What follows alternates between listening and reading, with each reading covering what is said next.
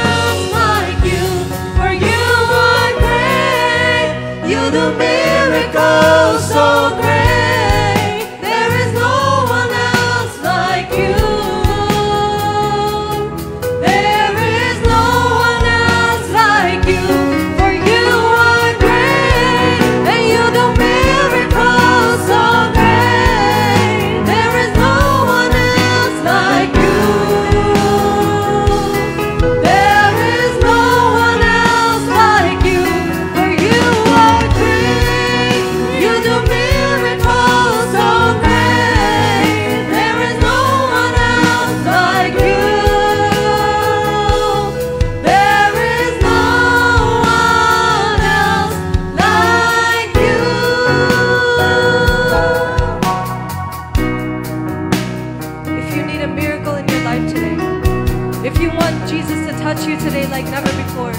Lift up your hands. Let's welcome Him. Let's welcome the Holy Spirit in His place. And let's worship Him in truth and in spirit. You deserve the glory and the honor. Lord, we lift our hands in worship as we lift your holy